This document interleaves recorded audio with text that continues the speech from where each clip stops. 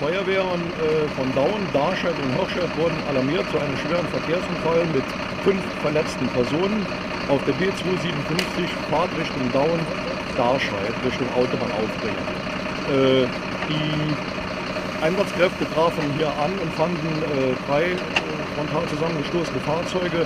Eine Person musste also äh, patientengerecht gerettet werden. Äh, die anderen Personen waren trotz des großen, starken Schadensbildes nur leichter verletzt. Es waren vor Ort 31 äh, Feuerwehrangehörige und 29 Rettungskräfte. Darunter waren drei Notärzte und zwei Ortleiter. Ja, dann die Wehrleitung der Verbandsgemeinde und die PI, zusätzlich zwei Rettungstransporthubschrauber.